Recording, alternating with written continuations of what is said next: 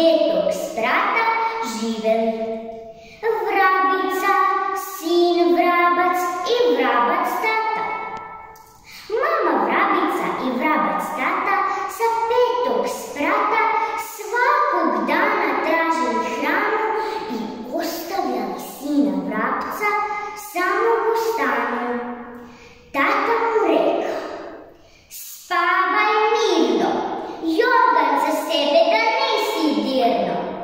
Nemoj da opet doktor Vrana uzme za pregled ko pre dva dana. Šest zrna žita i sto mrva. Mama je kazala, dan je hladan, moramo naći bar jednog crva.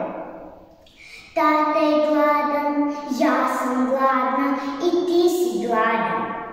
Biće batina, calquixa.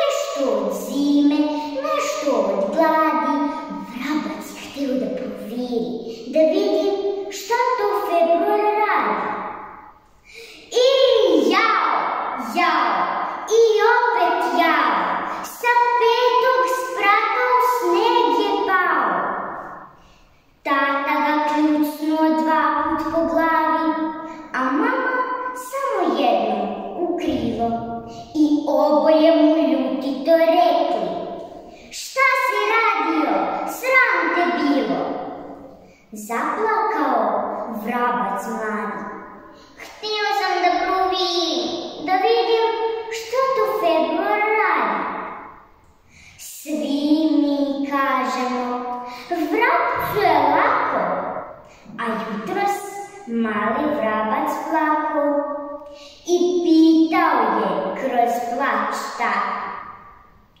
Što si me kljucnuo tako jako?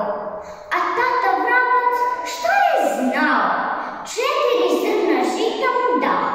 Vrapčić se najao